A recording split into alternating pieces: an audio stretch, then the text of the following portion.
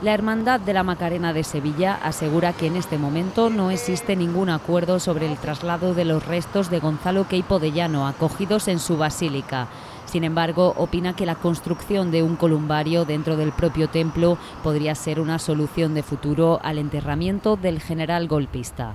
La hermandad asegura estaría dispuesta a trabajar junto a la familia de Keipo de Llano, aunque de momento el proceso no está iniciado ni depende de forma exclusiva de su voluntad.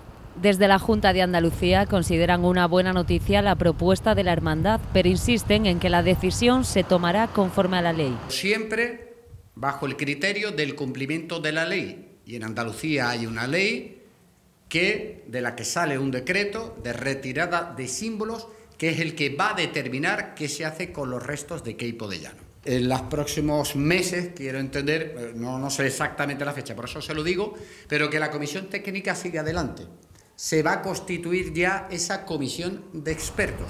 La coordinadora andaluza de organizaciones republicanas lleva tiempo reclamando la salida de los restos mortales de equipo de llano de esta basílica y en su opinión la Junta no está cumpliendo la ley. La ley no tiene que reclamar nada, la ley lo que tiene es que cumplirse. La ley de memoria histórica y democrática de Andalucía está en vigor desde hace más de un año, casi un año y medio.